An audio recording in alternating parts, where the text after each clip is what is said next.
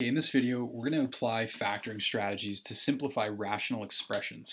So just a brief warm-up, I, I, want you to think about reducing fractions. Now, I'm going to remind you, maybe your, your fourth grade teacher showed you that you could write 9 over 36 as 9 times 1 over 9 times 4. 9 over 9 we know is 1, right? We can divide 9 by 9 and get 1. We don't typically write 1 here because in math we're lazy and we don't like to write 1s. But what this would say is 1 times 1 over 4. So instead of having that 1, we would just simplify that by calling it 1 over 4. Right? that's the way that we reduce fractions.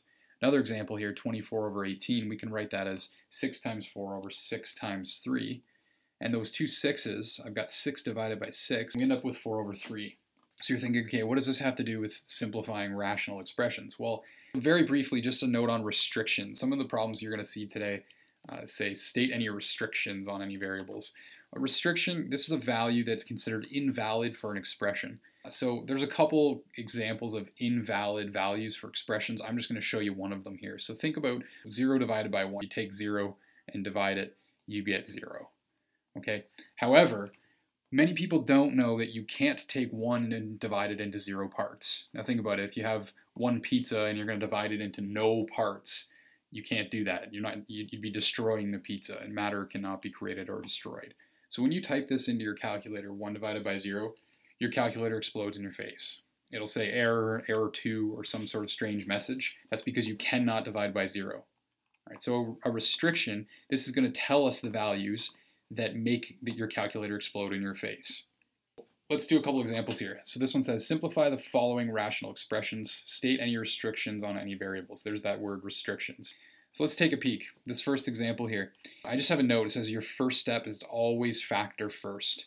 Okay, so immediately you might look at this and say, there's nothing I can do.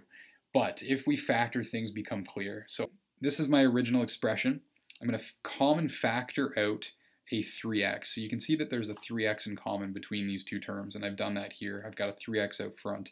If you're rusty on factoring strategies, I highly suggest checking out my three-part series on factoring. A couple video tutorials on common factoring, trinomial factoring, difference of squares factoring, all the kinds of factoring that you would possibly need Okay, so that's what I've done is I've common factored out this 3x.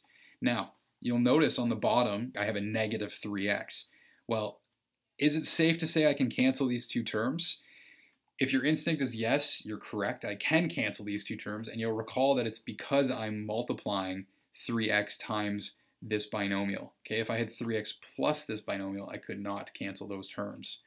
So that's the that's the strategy I'm going to use here. You can see I'm canceling out my two terms. Now before we go any further, I just want to note that I'm saying x cannot equal 0 here. Okay, that's my restriction. You can see here, if x was 0, I would have 0 on the bottom, and I cannot divide by 0. I just showed you that your calculator will blow up in your face if you do that, so be very careful. Make sure you state your restrictions as you go, and you're just going to kind of collect them at the end, and you'll, and you'll see that I do that here. So what I'm left with here is 3x minus 2, and I'm dividing by a negative. Now remember, there's still a negative 1 there. I could just call this negative 3x minus 2 over 1, or I could just call it negative 3x minus 2. I'm going to distribute that negative just to clean this up a little bit. End up with negative 3x plus 2. Now notice I've said where x cannot equal 0, that is my restriction. It's very important to write that in your final answer. That tells us that this expression simplifies to this expression as long as x does not equal 0. All right, so let's look at part B here. Same situation. I want a common factor first. Okay, most people are going to say, well, you know what? I can just take this y and cancel with this y. Remember, you cannot do that. You're breaking math rules here. Okay, I, would be crying. You'd have tears on your test. Okay, so we're not doing that. We are going to factor though. So I'm going to take a peek at the bottom and I'm going to say, you know what? I've got something in common between my two terms. There's definitely a y in common. Uh, and it turns out there's also a 5 in common. So i am going to common factor that 5y out.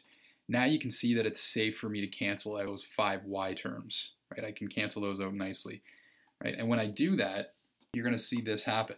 Right? Your, your y's are gone. I'm stating restrictions here because I'm noticing already there's a potential that the bottom could equal 0. If I put 0 in, in for y, the entire denominator is 0. My expression explodes in my face. The world ends. I could also get another situation where I, if I substitute negative 2 over 5, I would also have 0 on the bottom. So just take a look at that and you'll see that If I put negative 2 over 5 here, I have 2 plus negative 2, my 5s would cancel, and I have 0 on the bottom, so that's also a restriction.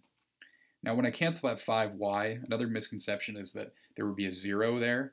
Remember, if you cancel something, there is a 1 there. So I've, I've still got this 1. I've, I've canceled out my 5y's, and I've stated my restrictions. A third example, same sort of thing here. Remember to factor first. On top, we've got an x in common. On the bottom, we've got a 2 in common. Right? Uh, so I could common factor out that x and could common factor out that 2. You're going to be tempted to just sort of cancel these, these two expressions out in the brackets. That would be fine as long as they were the same expression, but they are not the same expression. There is a way I can make them the same expression, and that involves factoring out a negative. If you picture 6 minus x, if I just change those terms around and make it negative x plus 6, they're still not the same expression, but you can see that I could take this negative and I could factor it out of the brackets. And if I do that, I also have to take it out of this positive 6. When I do that, I end up with a negative 2 on the outside. The expression inside is now x minus 6, so I can cancel these guys out nicely. Also note that I stated my restriction here. x cannot be 6. If x was 6, I'd have 0 on the bottom. My calculator explodes in my face and the world ends. Make sure you state your restrictions. So we could just say that this simplifies nicely to x over negative 2, and that's really it for that example. There's definitely more complicated examples that you can see. This one in particular involves a difference of squares, as well as a trinomial factoring. All right, so your first step's factoring. We're going to take the top, and we're going to write it as x minus 3, x plus 3. Remember, take the square root of each term, put it inside the brackets after an x with a minus and a plus. That's a difference of squares. The trinomial factor the bottom two numbers that add to get 2, multiply to get negative 15. You'll see those two numbers are negative 3 and 5. This is great because we've got multiplication on top and on the bottom, so we should be able to cancel things out nicely. x minus 3 over x minus 3 is 1.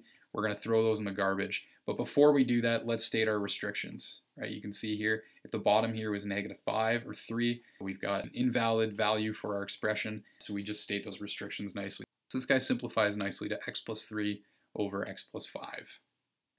Okay, one more quick example. This one's definitely more involved only because of the type of factoring involved. This is not a simple trinomial. This is what I call a tricky trinomial. There's a, there's a value in front of the x squared. Definitely take a look at one of my factoring videos on trinomial factoring. I've got a really awesome shortcut for this. I'm not going to go over in immense detail here, but I will walk you through this problem. You're going to factor the top. You end up with this expression.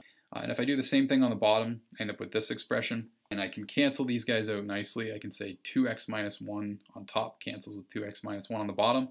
But before I do so, I want to note that the bottom could be 0 if I substituted in a half, right? 1 half times 2 minus 1 would be 0. I've got 0 on the bottom. Uh, if I substitute in negative 2 over 3 here, I would also have 0 on the bottom. So I just state my restrictions nicely before I get too carried away. Once these guys cancel, I've got a nice simplified expression.